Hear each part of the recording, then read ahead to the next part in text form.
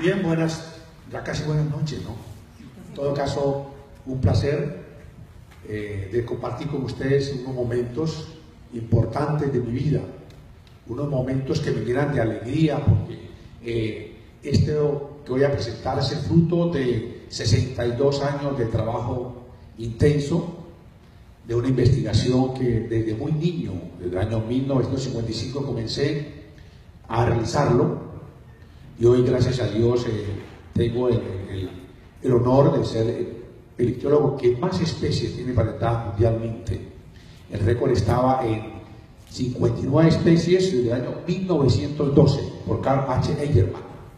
Y ya este año, que fue, ha sido los años más productivos, he logrado patentar 11 especies nuevas para el mundo, con lo que complementé 62 especies patentadas mundialmente. Eso me llena de honor que nosotros en Colombia sí podemos hacer ciencia, ciencia auténtica, y podemos mostrarle hoy con orgullo a los florideños que con esta última investigación que acabo de, regalarle el 7 de noviembre de este año, con un Astrolepus florida blancaensis, que tenía, venía hacía 61 años estudiando y por hoy ya es una nueva especie para el mundo.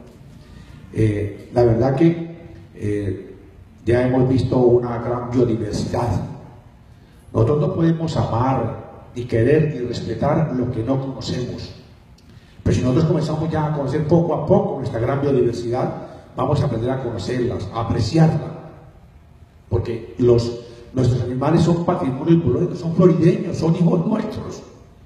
Nos tiene la responsabilidad para cuidarlos para, para nuestros hijos